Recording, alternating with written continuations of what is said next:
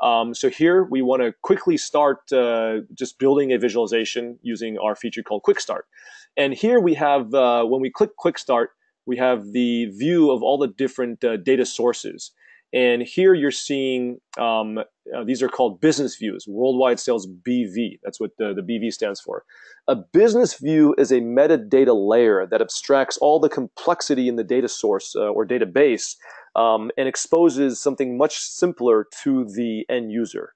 Um, so as an example, you know, on the right side, when you when you select the worldwide sales BV, you can see very understandable, readable uh, dimensions and measures.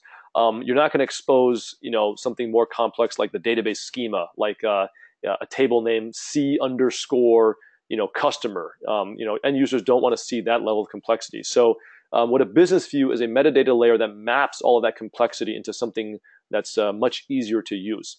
Um, so the business view is a very critical component of, of uh, what makes it, uh, how it makes it uh, the JReport uh, end users usability uh, in a much streamlined fashion. So let's select worldwide sales BV.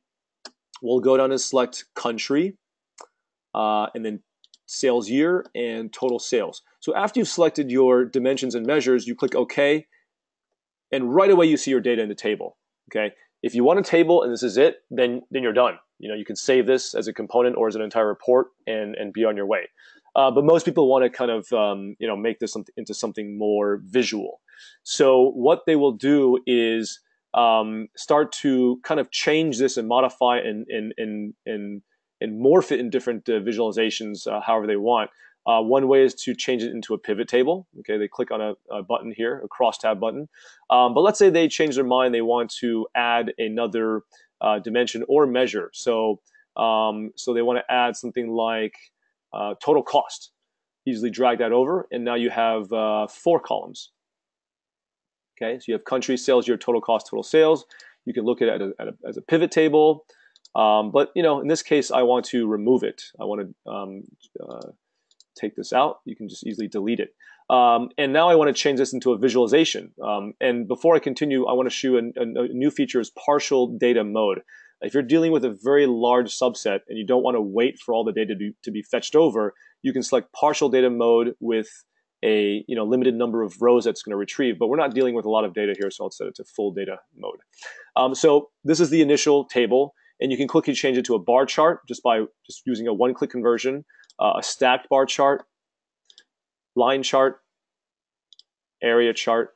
You know, it's very easy to convert these things to, to different visualizations. Um, and let's say I want to add another one. So I want to add another table.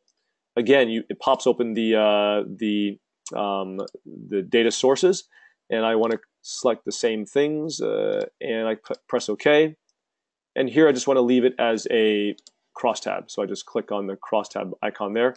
And I'm done. I can save this as individual components or I can save it as an entire report, right? And I can share this with uh, different users in my group or in other groups. All right, so it's very easy uh, just with a few clicks of the button to be able to create a report, uh, individual visualizations, uh, different widgets, uh, uh, all in a very streamlined fashion.